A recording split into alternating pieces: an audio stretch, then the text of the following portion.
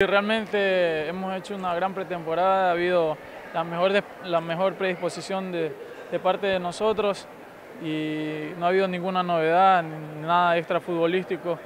simplemente sacar muchas cosas positivas de, toda esta convivencia que, tuvimos allá y,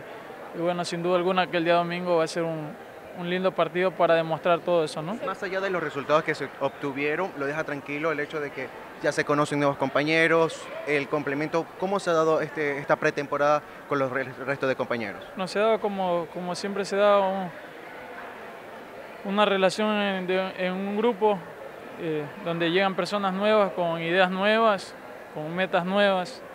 Eh, sin duda alguna que eso ha hecho muy bien al equipo porque han llevado compañeros que, que tienen muchas ganas de ganar cosas eh, personales y como grupo, entonces eso ha hecho que, que este grupo eh, aumente todas esas, todas esas ideas y, y, que sin duda alguna que vamos a hacer un gran torneo con eso. ¿no?